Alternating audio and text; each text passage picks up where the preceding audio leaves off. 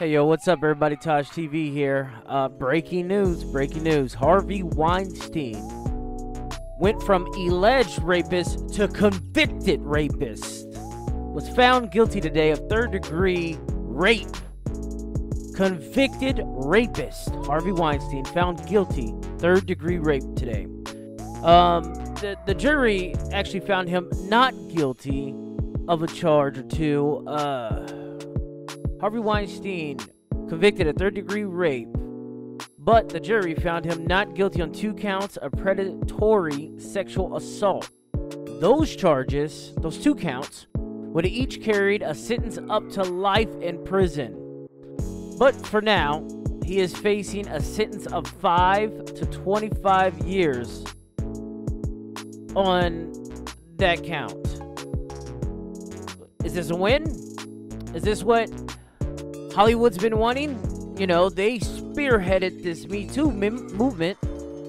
Is this what America wants? I, for one, say if he's guilty, he's guilty. Fuck it, lock him up. Throw the whole fucking rapist away. Fuck him. But I am going to say those two counts that got dismissed those would have been the nail in the coffin. Now, I, I, believe he also has more uh, uh, court appearances down the road for other alleged rapes. Those are alleged rapes. This one, convicted, third degree rapist. Um, I'm gonna say this is a win. You know, I, I think he's gonna get kind of the same deal as Bill Cosby got, but I think Bill Cosby, uh, his is more predatory type of charges.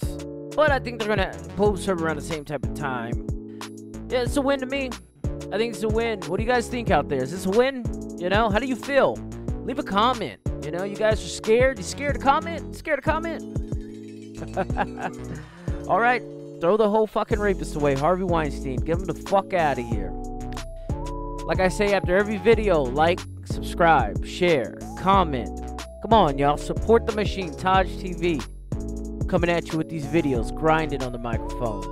Y'all have a good day. I'll see you later with more videos.